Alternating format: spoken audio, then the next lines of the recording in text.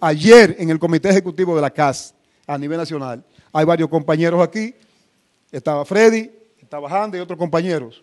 Osuna. Y ayer decidimos constituir como confederación, como CAS, un instrumento con carácter jurídico de manera permanente que existan las 32 provincias que tenemos en el país, ¿verdad? Que tenga un núcleo de veeduría en las 32 provincias del país para observar, como un observatorio, la denegación de derechos y demandar al momento que haya que hacerlo a quien tengamos que hacerlo. Si yo pagué en octubre, no me pueden en noviembre pagar de negarse derecho. Vamos a demandar. Entonces, presidente, le decimos, tiene que intervenir ya. El colegio médico fue citado la semana pasada en el Consejo Nacional de Seguridad Social.